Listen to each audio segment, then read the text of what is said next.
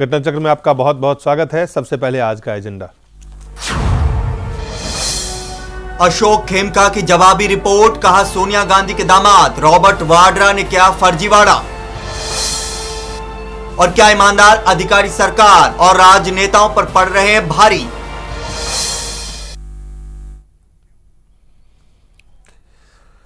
सोनिया गांधी के दामाद रॉबर्ट बद्रा के कथित फर्जी ज़मीन सौदे का भूत। उनका पीछा छोड़ने के लिए तैयार नहीं है। क्योंकि उनके पीछे जो व्यक्ति हैं, वो है एक ईमानदार IAS officer doctor Ashok Khemka. उन्होंने हरियाणा सरकार को अपनी रिपोर्ट सौंपी है और रिपोर्ट में उन्होंने जो बात कही है और साफ़ जिन चीज़ों को कि सिकोपुर गाँव में तीन दशमलव पाँच तीन एकड़, लगभग साढ़े तीन एकड़ से ज़्यादा भूमि सौदा मामले में जो रिपोर्ट दिया गया सौदे के लिए रॉबर्ट वद्रा ने फर्जी दस्तावेजों का इस्तेमाल किया। रिपोर्ट में यह भी कहा है कि सौदे के लिए सेल डीड में जो चेक लगाया गया था, वो भी फर्जी था। और ये तमाम जब रिपोर्ट आने के बाद अब सवाल है कि क्या इस पे हरियाणा की सरकार रिपोर्ट को डस्टबिन में फेंक देगी या इस पे छानबीन ईमानदार तरीके से करवा के उस पर कोई कार्रवाई करेगी? या एक बार फिर जो उत्तर प्रदेश में जिस सरकार का रुख है, दुर्गा शक्ति नागपाल को लेके, वो रुख हरियाणा सरकार आगे बढ़ाएगी। सबसे पहले, पुष्पेंद्र। इस रिपोर्ट को देखें अगर, और कांग्रेस के बयान को देखें। मैं कांग्रेस पार्टी के प्रवक्ता हैं, मीम अफजल साहब। उन्होंने इस बाबत क्या बयान दिए हैं, वो पहले दिखाता हूँ, फिर आपसे मैं आपकी प्रतिक्रिया लेता हूँ। अशोक खेमका जी के बारे में जो मैं कहूँगा, अभी जो कुछ उनका आया है, जो सुबह मैं टीवी पर देख रहा हूँ, मैंने अभी हरियाणा गवर्नमेंट से बात करके हम कोशिश कर रहे हैं कि सारे डॉक्यूमेंट सब चीज़ें हमारे पास अवेलेबल हों। उसकी बुनियाद पर हम कोई मज़बूत बात कह सकें। सरेदस मैं यही कह सकता हूँ कि अशोक खेमका कुछ सियासी पार्टियों के हाथ में खेल रहे हैं और वो सर्विस रूल्स को फॉलो नहीं कर रहे हैं। उन्होंने कहा कि कुछ राजनीतिक दलों के हाथ में खेल रहे हैं और सर्विस रूल को फॉलो नहीं कर रहे। अब से कुछ दिन पहले सोनिया गांधी ने मनमोहन सिंह को पत्र लिख के डॉक्टर वो दुर्गा शक्ति नागपाल के मसले पे कहा था कि आप देखें जरा उनके साथ जाए चीज़ें हों अन्याय नहीं हो। और यहाँ पे कांग्रेस के प्रवक्ता का रुख देखें। देखिए दिलीप एक पैमाना दो। नहीं नहीं पैमाना दो है वो तो साफ़ है लेकिन एक बात मेरी ये समझ में नहीं आ रही है कि कांग्रेस पार्टी रॉबर्ट वाड्रा के बचाव में या उनको, उनके बारे में तर्क देने के लिए कांग्रेस पार्टी किस शक्ल में है? कांग्रेस पार्टी की इस पूरे मामले में क्या लोकस स्टैंडी है? रॉबर्ट वाड्रा कांग्रेस के मेंबर नहीं है रॉबर्ट वाड्रा कहीं एमएलए नहीं, एमपी नहीं, कांग्रेस के किसी संगठन से नहीं जुड़े हुए। तो अगर एक प्राइवेट आदमी है जिसकी दुहाई आज से तीन चार महीने पहले जब इनके ऊपर ये मामला खुला तो कहा गया कि साहब वो तो एक प्राइवेट आदमी है उनके बारे में तो 12-12 मंत्री बाहर आए। तो मैं अभी भी नहीं समझ पा रहा हूँ कि कांग्रेस पार्टी रॉबर्ट वाड्रा के किस किस कौन से तरीके से कौन से कारणों से ये वकालत करने उतरती है और उनको डिफेंड करती है। तो पहले कांग्रेस पार्टी ये बताए कि रॉबर्ट वाड्रा के मामले में उनकी क्या भूमिका है और वो इसमें पार्टी कहाँ से है। दूसरी बात जो आज प्रवक्ता जी ने नई बताई है कि वो खेमखा जी जो हैं, वो कुछ पार्टियों के हाथों में खेल रहे हैं। तो खेमखा इस देश की सर्विस रूल के तहत सर्विस कर रहे हैं और अगर हरियाणा सरकार को लगता है कि नियम के खिलाफ जाकर के कुछ राजनीतिक एजेंडे के साथ करें तो उनको सस्पेंड करें। आप सस्पेंड भी नहीं करेंगे, आज आप एक नया शगुफा छोड़ेंगे कि कुछ राजनीतिक पार्टियों के हाथ में खेल रहे हैं। जब उन्होंने यह खुलासा किया था, तब आपने ये बात नहीं कही थी। तो अब आपको यह सूट करता है कि वो राजनीतिक पार्टियों के हाथ में खेल रहे हैं, क्योंकि अब से कुछ महीने, चंद दिन पहले सोनिया गांधी ने जिस तरीके से उत्तर प्रदेश की एक आई अफसर दुर्गा शक्ति के बारे में प्रधानमंत्री को चिट्ठी लिखी कि आप किसी भी तरीके से इस अफसर के साथ में कोई नाइंसाफी ना हो। तो अब आपको लगा क्या कहते हैं ये दोबारा से मामला शुरू हो गया और 105 पेज की जो रिपोर्ट उन्होंने जमा की है उसके बाद जितनी चीज़ें आई हैं उसमें आपके पास जवाब नहीं है। तो कांग्रेस पार्टी के डिफेंड करने की जगह या तो राहुल गांधी डिफेंड करने आए क्योंकि वो उनके बहनोई हैं या सोनिया गांधी डिफेंड करें या उनका कोई वकील डिफेंड करे। लेकिन पूरी कांग्रेस पार्टी उन्हें डिफेंड किस उसमें करती है मेरी समझ में नहीं आता। अवधेश जी। देखिए इसको तीन तरह से हमको देखना पड़ेगा। पहला तो है कि हम सब जानते हैं कि जो हरियाणा सरकार ने पहले ही क्लीन चिट दे दिया है रॉबर्ट बाड्रा को कि उस सौदे में कुछ भी गड़बड़ी नहीं था। खेमका की रिपोर्ट जो थी वो गलत रिपोर्ट थी। उसमें सारे कानूनों का पालन हुआ जो सौदे हुए उसके पैसे दिए गए। जी। तो जो समिति हरियाणा सरकार ने बनाई उसका एक ही लक्ष्य था कि खेमका ने जो कुछ भी किया इसको सबक सिखाया जाए। उत्तर प्रदेश के अखिलेश सरकार ने भले 42 और 47 मिनट में कर दिया, लेकिन हरियाणा सरकार ने थोड़ी बुद्धि लगा करके कि समिति बना करके इस ब्यूरोक्रेट को नाजायज गलत तरीके से रिपोर्ट देने वाला साबित करके हम इसको सजा दें। जो मूल उद्देश्य उस समिति का था, वो यही था। लेकिन अब खेम का भी साधारण नहीं है। इन्होंने समिति के सामने सौ पेज का ऐसा ठुमका मारा है। कि अब उनके सामने उसने एक एक चीज़ उसमें बिंदु डाले हैं कि ये कैसे गलत है और बाहर आके उसने बयान दे दिया है कि मैंने जो म्यूटेशन रद्द किया था वो उस पर उसका पर तुरंत अमल हो अगर किसी को ज़रूरत हो तो कोर्ट में जाना चाहिए। मैंने समिति मेरे बारे में जो फैसला करे वो करे लेकिन मैं चूँकि एक एक संविधान के तहत प्रदत्त अधिकार जो हमारा है उसके तहत हमने रद्द किया था जाए। लेकिन तीसरा पहलू जो इस समय जिस पर आपने आरंभ में परिचर्चा आरंभ की।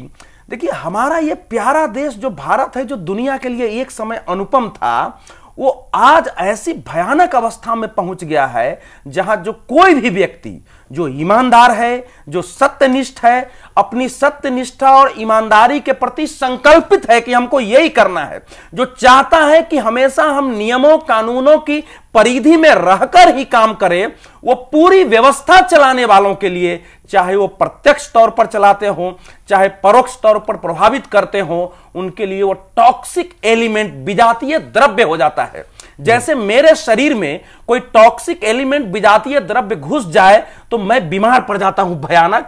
और डॉक्टर से इलाज कराना पड़ता है। भारत में उल्टी स्थिति है।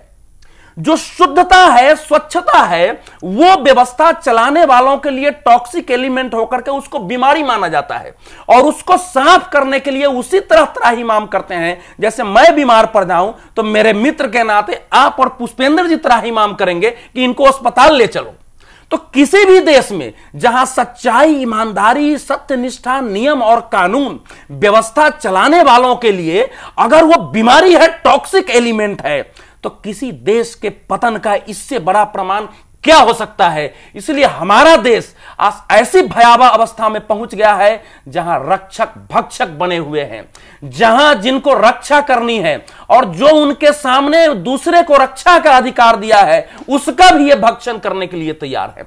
तो ये इसका जो तीसरा पहलू है वो ज़्यादा महत्वपूर्ण है और उसी पर हमको ज़्यादा केंद्रित करना पड़ना पड़ेगा क्योंकि हमारे देश के हमारे समाज के आने वाले पीढ़ी के ये भविष्य का प्रश्न है। जी ये भविष्य का प्रश्न है धर्मानी साहब जो अवधेश जी ने तीन पहलू नहीं मैं, मैं मैं मेरे को लगता है बिल्कुल सहमत हूँ अवधेश जी की बातों से लेकिन इसमें जो आपने जो मेन मुद्दा है मेन मुद्दा है कि आखिर एग्जीक्यूटिव और पॉलिटिशियंस में सत्ता में पॉलिटिकल पावर लेजिस्लेचर और एग्जीक्यूटिव की बात कर रहे हैं इसके अंदर झगड़ा क्यों है? झगड़ा किस बात का है? झगड़ा नहीं है। ये झगड़ा ही है। जब आप ये आप, ये झगड़ा अगर है तो ईमानदार और बेमानों के बीच में। मैं यही कहना चाह रहा हूँ। ये झगड़ा प्रश्न ये है यहाँ एक्टिविज्म दलीप दलीप जी मैं ये बताना चाह रहा हूँ कि जो सत्तासीन लोग हैं हमारी संसद है या हमारी विधानसभा है जो असेंबलीज हैं वो लेजिस्लेचर हैं। वहाँ पर एग्जीक्यूटिव अगर उनको असिस्ट करती है और वो जो एक घालमाल हो गया है बहुत वर्षों से चला आ रहा है ये घालमाल इस पर अगर कोई ऑफिसर आकर उसके अलग लाइन लेता है तो ये जो इतने वर्षों से पानी तालाब का एक जंक खा रहा है, उसमें हिलजुल होगी ही होगी। और जो ऑफिसर उस लाइन को, जो अपनी पावर को, अपने अधिकार को ईमानदारी से लागू करते हैं, जनहित में या देश हित में, उनको ये जो करप्ट लीडरशिप यहाँ पर पनपती जा रही है उनको रास नहीं आ रही है। ये ये सिर्फ़ करप्ट लीडरशिप में अगर अगर आप इसको देखें जो लोग राजनीति में भी ईमानदार हैं उनको भी पार्टियाँ डाइजेस्ट नहीं कर पा रही मैं मैं मैं कुछ और ये ये यहाँ तक सीमित नहीं रह आप बात कह रहे हैं इससे मैं सहमत नहीं हूँ। मैं इसलिए सहमत नहीं हूँ कि आप यहाँ की जो पार्टियाँ हैं वो दरअसल हाई कमांड ब्रांड की हो गई हैं। हाई कमांड द्वारा डायरेक्टेड हैं। सवाल यह है कि जो ईमानदार हाई कमांड जो कल्चर है उसमें ईमानदारों की पूछ नहीं है। ईमानदारों की पूछ नहीं है। जब तक वो जब तक वो चमचागिरी नहीं करेंगे जब तक वो उनके आगे पीछे नहीं हाई कमांड की दलाली ना करे वो। दलाली नहीं करेंगे तब तक वो उनकी नज़रों में नहीं चढ़ेंगे। और यही स्थिति जो है आज जो आपने अभी मुद्दा उठाया है ये उसमें झलकती है। आपको मैं इसलिए कहना चाहता हूँ कि आपने इन इसी चैनल से जब आईपीएल का मामला आया था फिक्सिंग का मामला आया था आपने एक सन इन लॉ के कारण बीसीसीआई जो प्रधान है, उनको कितना बड़ा कटघरे में खड़ा किया। तो आज देश का राज चलाने वाली पार्टी की सर्वोच्च नेता यूपीए की अध्यक्षा, उनके जो सन इन लॉ हैं, वो कटघरे में हैं। और अशोक खेमका ठोक कर कह रहे हैं, सौ पेजों की रिपोर्ट में कह रहे हैं, और साफ़ झलक रहा है। ऐसे में आखिर वो कहाँ है ईमानदारी? वो कहाँ है इसके, इसके एक, एक, एक और पहलू है पुष्पेंद्र। एक है सोनिया गांधी के दामाद है। देश के नामी गिरामी सबसे पावरफुल परिवार है। सबसे ज़्यादा रिस्पेक्टेड सबसे ज़्यादा जो कह रहे पावरफुल फैमिली के दामाद होने के कारण भी उनको क्या? एक पहलू ये भी है कि उनको कोई भी अधिकारी जिनको पब्लिसिटी चाहिए वो ये काम कर रहे हैं। एक इसका दूसरा पहलू है। दो एक तीसरा पहलू है कि किसी और ने चाहे वो रॉबर्ट बद्रा ने किया या नहीं किया रॉबर्ट बद्रा के नाम पे अपने आप को उस परिवार के करीब लाने के लिए किसी ने आ, क्या ये काम किया? तीसरा है कि क्या रॉबर्ट बद्रा और कांग्रेस पार्टी या कांग्रेस सरकार क्या उसमें मिली भगत से ये काम हुआ? तो तीन अलग अलग पहलू हैं। इसको भी नजरअंदाज नहीं किया जा सकता है। देखिए भारतीय राजनीति में अवधेश भाई ने बहुत सारी बातें कही उसमें आप ये बात ज़रूर माने कि आप ये कहें कि पवन बंसल ने रिश्वत नहीं ली। और पवन बंसल शामिल नहीं थे। उनको पता नहीं था सीबीआई ने भी उनको क्लीन चिट दे दी। लेकिन उनके पवन बंसल के- वही मैं कह रहा हूँ। मैं वहीं आ रहा हूँ मैं वहीं आ रहा हूँ। मेरा कहने का सेंस है कि हमारे यहाँ की राजनीति में इत, इस तरीके से आप चीज़ों को ये नहीं अलग कर सकते कि देखिए साहब पवन बंसल ने रिश्वत नहीं दी उनके भतीजे ने ली थी और उनके भतीजा क्या कर रहा था वो उनको पता नहीं था।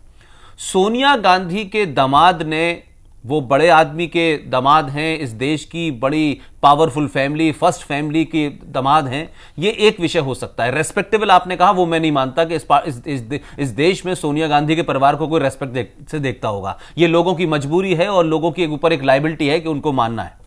नेहरू का- नेहरू बड़े- नेहरू- वो सबको मालूम है नेहरू जी। के बारे में भी लोग मैं पुष्पेंद्र जी बीच में और उस परिवार पुष्पेंद्र भाई मैं एक मिनट आपको टोक रहा हूँ। ये एक अलग नहीं पुष्पेंद्र भाई ने जो बात कही है उसी में जोड़ रहा हूँ। जी। आपके भी भांजे होंगे भतीजे होंगे उनको कोई आके रिश्वत नहीं दे देता उनको करोड़ों रुपया नहीं दे देता किसी वो उस। पोजीशन पर नहीं बैठे कल बैठेंगे तो शायद उनके है। मतलब नहीं मैं यही कह रहा हूँ कहीं ना कहीं लिंक है। इसीलिए उनको ओबलाइज किया जा रहा है मैं वही बात कह रहा हूँ अगर आप इस बात को देखें कि रॉबर्ट वडेरा इस देश के अंदर अगर सोनिया गांधी के दमाद ना होते तो ये तमाम सारी चीज़ें इतने सारे मेरा कहने का मतलब है इस तरह के ये पहला सौदा नहीं है हरियाणा के लैंड डील मगर पूरे हरियाणा में आप नोएडा में जाएँगे या गुड़गांव में जाएँगे या फिर फैदाबाद में जाएँगे इस तरह के तमाम गाँव में सौदे हुए हैं। तमाम तरह के सौदों में इस तरह की लेन देन हेरा फेरी अगर आप जाँच करें तो होगा। रॉबर्ट बद्रा का मसला इसलिए महत्वपूर्ण हो जाता है कि वो सोनिया गांधी के दामाद है। नहीं देखिए ये एक पहलू है उसको आप दर- सिर्फ़ जी, यही- सिर्फ- सिर्फ़ यही पहलू नहीं है। जी। देखिए अगर रॉबर्ट वढेरा ने इस पूरे इस पूरे जो जो भी, जो जो जिस किस्म से भी ये सौदा हुआ है, उसमें फर्जी दस्तावेज़ दिए हैं, एक जाली चेक दिया है, बैंक ने मने कर दिया है, आप इस बात को नहीं कहीं नजरअंदाज कर सकते कि ये तमाम सारी चीज़ें जो हैं, सोनिया गांधी के दमाद हैं और दमाद इस काम को कर रहे हैं तो इस पूरी कांग्रेस पार्टी में, खासतौर से हरियाणा में जो उनकी सरकार है, जहाँ वो दस्तक देते हैं, दस जनपद पे हर हफ़्ते जाकर के, उनमें से किसी में यह हिम्मत नहीं थी कि सोनिया गांधी से जाके कहते हैं कि आपके दामाद जो है, वो नाजायज तरीके से ज़मीन को लेना चाहते हैं, कम पैसों में लेना चाहते हैं, डीएलएफ के साथ कुछ दस्तावेज़ जारी लगा, ये ये करेज नहीं है। और उसके चलते, उस उस सत्ता का इस्तेमाल करते हुए उन्होंने ये किया और भले ही सोनिया गांधी ने फ़ोन करके हुड्डा से नहीं कहा होगा कि आप इनको दे दिए, लेकिन ये माना जा रहा है, भारतीय राजनीति इस तरीके की हो गई है कि उनके हाई कमांड का दमाद है लिहाजा इस पे तो हमें पूछना ही नहीं है बताना ही नहीं है हमें स्वतः ही कर देना है। तो बात यह है कि अगर उनके बारे में बडेरा होने की वजह से सोनिया के दमाद होने की वजह से कुछ लोग आरोप लगा रहे हैं कुछ बातें हाईलाइट और सेंसेशन क्रिएट कर रहे हैं तो मैं कह रहा हूँ कि खेम खा तो इस सरकार के अंदर एक एक आईएएस ऑफिसर है। उनके खिलाफ एक्शन क्यों नहीं लिया जा रहा? जी। आ- जी आपका जो प्रश्न है नहीं मेरा एक ये भी एक पहलू है क्या नहीं ये तो बिल्कुल पहलू है जी। लेकिन इस इस पहलू में अगर ऐसा कुछ होता कि कोई सोनिया गांधी से कोई बड़ा व्यक्तित्व अगर वो सामने इसके लिए आ जाता है और वो एक लड़ाई होती तो समझ में आता है एक अदना सा अधिकारी अगर वो कह रहा है बिल्कुल नियम कानून के आधार पर बता रहा है कि कैसे इसमें गाँव और शहर के जो नियम है उसने लिखा है हमारे पास तो मैंने नोट किया है कि नगर एवं ग्राम योजना विभाग के जो नियम है उसको गलत किया गया है। जो साढ़े सात करोड़ का इन्होंने खरीदा और अंठावन करोड़ में उसको तुरंत डीएलएफ को दे दिया है। जो चेक दिया कि हमने चेक 50 दिया है, करोड़ से ज़्यादा मुनाफा कमाया, ये मुनाफा कमाया। वो नंबर। गलत है। फर्जी दस्तावेज़ के ज़रिए किया गया है। स्काई लाइट इसकी कंपनी है तो यहाँ वो पहलू तब माना जाता हमारे मित्र मीम अफजल साहब जो कह रहे हैं। देखिए आप कई बार जरा गीतों की पंक्ति को जो है अच्छा नहीं मानते हैं लेकिन यहाँ ऐसे ही है। ये जो नेताओं का जो भोलापन है ना वो पुराना एक गाना है। भोलापन है मक्कारी है। नहीं सुनो ना बड़ा हसीन है चेहरे का भोलापन इनका मगर भरा हुआ है जहर से बदन इनका। एक जिसे ये काट ले पानी वो पी नहीं सकता दवा तो क्या है दुआ से भी वो जी नहीं सकता। तो ये जो ये जो बनाते हैं ना अपना चेहरा सबके अंदर वही टॉक्सिक एलिमेंट जो मैं जहर कह रहा हूँ ना वो भरा हुआ है। फिर इसके मैं तीन अर्थ आपको बता रहा बत, मेरी दृष्टि में है। पहला कि हमारा हमारी आज हालत यह है कि जो सत्ता हमारे देश की है जिसका काम क्या था? जनसेवा। जिसका काम था समाज सेवा जिसका काम था कि कानून और व्यवस्था सब लोग सुरक्षित महसूस करते हुए अपनी भूमिका का निर्वहन करें। वो केवल आज सत्ता वो केवल और केवल संपत्ति शक्ति और अपने लिए सम्मान अर्जित का कारण बन गया है। तो इसके रास्ते में अगर कोई बाधा आएगा पहले यह था कि सत्ता समाज सेवा के रास्ते में कोई गलत बाधा आ रहा है उसके खिलाफ कार्रवाई करो। आज आ रहा है कि हमको शक्ति हमको स- हमको संपत्ति और हमारे सम्मान के मामले में जो भी बाधा आ रहा है वो चाहे ब्यूरोक्रेट हो वो चाहे संघर्ष करने वाला हो वो चाहे न्यायालय हो उसको किनारे लगाओ। ये हमारे देश में होगा। दूसरी बात कि अब इतनी भी गहरत नहीं बची है हमारे, मैंने शीर्ष राजनीति आप कह रहे हैं कि देश की सबसे शक्तिशाली राजनीतिक परिवार, कि अगर कोई गलती सार्वजनिक हो गया कि हमने ये पाप किया है, जनता जान गई है तो बीच का रास्ता निकाल करके इससे पैर खींचो। जैसे यदुरप्पा का, देखिए, बहुत आप आलोचना करते हैं, लेकिन जैसे हुआ कि उन्होंने तीन प्लॉट जो है अपने बच्चों को दिया, हल्ला हुआ तो उसने वापस कर दिया। इतने तो गैरत दिखाई ना। आज इतनी गैरत नहीं है, और उसके सामने हम सीना ठोक के खड़े हैं। ये तो हाले बाहर से जो अहमद शाह हमदाली और अंग्रेज़ आए थे, उनसे भी बड़े ये लुटेरे और बेशर्म हो गए। और तीसरी बात कि जिसको भी भले उसका डायरेक्ट लाभ नहीं हो दिलीप जी लेकिन मीम अफजल हो सकते हैं कोई भी जो इस समय पॉलिटिक्स कैरियर हो गया हुआ है। तो जिसको कैरियर देखना है ना जिसको आंदोलन नहीं देश नहीं वो सब खड़े हो जाएँगे इसकी रक्षा के लिए और उसके विरोध में भले उनको कोई लाभ नहीं हो। ये तीन पहलू इस समय हर स्तर पर लागू हो रहा है। वो केवल राजनीति का ही विषय नहीं है। मैंने पहले ये, ही ये कहा एक महत्वपूर्ण एक ये महत्वपूर्ण बात अवधेश जी ने कहा पुष्पेंद्र धर्मानी जी कि जब ये बात अब उजागर है चीज़ें हैं कम से कम इस परिवार को सोनिया गांधी को कांग्रेस पार्टी को चलिए ये तमाम चीज़ों से हमारा कोई लेना देना है। एक तो वो कह रहे हैं ये निजी वो बिज़नेस करते हैं व्यापार करते हैं उस व्यापार किस तरह का है लेकिन अब जब इस तरह की बातें आ रही है तो कम से कम भरोसा की बात जो आप कह रहे हैं उसके लिए भूपन जी लगता है कि ये सोनिया गांधी के तरफ़ से इस तरह का पहल हो सकता है या होना चाहिए? देखिए मैं आपको एक बात बताऊँ कि अशोक खेमका जी।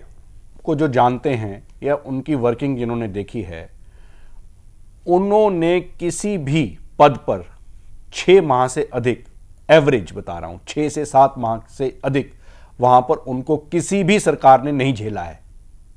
जी। आप इस बात से मैं कांग्रेस की बात नहीं कर रहा ये राज सत्ता जो है हर दल के नेता सत्ता में रहे हैं इस दौरान किसी भी नेता ने उनको आराम से पूरी टेनुअर कहीं पर भी काम नहीं करने दिया है। ये अपने आप में जो ईमानदारी तो ये बड़ा सवाल जो हमारा है कि जो ईमानदार ऑफिसर है है। जो ईमानदार ऑफिसर है। साल जी जी आप- ये साल में जी जी जी जी। तो ये बड़ा सवाल जो है वो उससे भी सोनिया गांधी और रॉबर्ट मेरा से बड़ा सवाल फिर वो है कि जो ईमानदार अधिकारी है वो वो राजनेता उस पे भारी पड़ रहा है। मैंने अच्छा, यही कहा भारी पड़ रहा है ये बात कि जो व्यवस्था से देखिए मैंने राजनेता ने मैंने ये कहा है कि इस व्यवस्था को प्रत्यक्ष और परोक्ष चलाने वाले शब्द का मैंने प्रयोग किया है कि केवल राजनीति और एक परिवार मत मिलिए। जहाँ एक ठेकेदार भी है वो परोक्ष तौर पर अगर वहाँ के नेता को प्रभावित कर रहा है तो वो ऐसे अफसर के खिलाफ खड़ा होना चाहेगा। हमारे देश ऊपर से नीचे बर्बाद गुलिस्ता करने को बस एक ही उल्लू काफ़ी है हर साख पे उल्लू बैठा है अंजाम गुलिस्ता क्या होगा नीचे से ऊपर तक है। दस जनपद में बैठा है। सवाल सवाल आप जो बात कह रहे हैं दूसरी बात जो आपने कही कि खेमका जी के मामले में या या अभी येदुरप्पा जी की बात आई। हालाँकि येदुरप्पा ने अपना डिस्क्रिशनरी कोटे के तहत दिया था फिर भी वापस कर दिया। जी। आज तो ये मैंने देखा इतनी ज़्यादा बेशर्मी हो गई है। जो आप- मर्ज़ी आप ये देखिए, आप ये देखिए, आप आगे देखिए ये जो खेमका जी वाला मामला है खेमका वाला मामला जो है उसमें सीधा सीधा उन्होंने अपनी रिपोर्ट में ही नहीं लिखा है। आप ये आप अगर उनकी पहले जो छोटी रिपोर्ट आई थी उसमें उन्होंने एक एक पॉइंट बताया है कहाँ कहाँ घपला हुआ कहाँ कहाँ खामियाँ कहाँ कहाँ खामियाँ हुई ये देखिए, और आपको जो- और- जो- जो कार्रवाई- नहीं नहीं इसमें एक और जब सबसे बड़ी बात है वो ये है कि इसके अंदर जो लैंड डील हुई है वो लैंड डील उसकी जो ट्रांजैक्शन हुई है मॉनेटरी ट्रांजैक्शन वो बैंक से कहीं पैसा निकला ही नहीं। चेक दिखाया गया और चेक वो वैसे का वैसे ही पड़ा है। ये कितना बड़ा फ्रॉड है। आप अपने आप में अगर इसको अरे देखें। ऊपर ऊपर ही पी जाते हैं जो पीने वाले हैं। कहते ऐसे ही जीते हैं जो जीने वाले हैं। तो जानकी वल्लभ शास्त्री ने पहले ही लिख दिया है धर्मानी जी। जी एक छोटा सा ब्रेक लेना पड़ेगा। ब्रेक के बाद लेकिन ये बड़ा सवाल है कि ईमानदार ऑफिसर ईमानदार अधिकारी सरकार और राजनेता पे भारी पड़ रहे हैं क्या? लेकिन जो यहाँ पे खामियाजा भुगतना पड़ रहा है वो ईमानदार अधिकारियों को भुगतना पड़ रहा है। राजनेता इसका फ़ायदा उठा रहे हैं और खामियाजा ये ईमानदार अधिकारी उठाते हैं। एक छोटे से ब्रेक के बाद।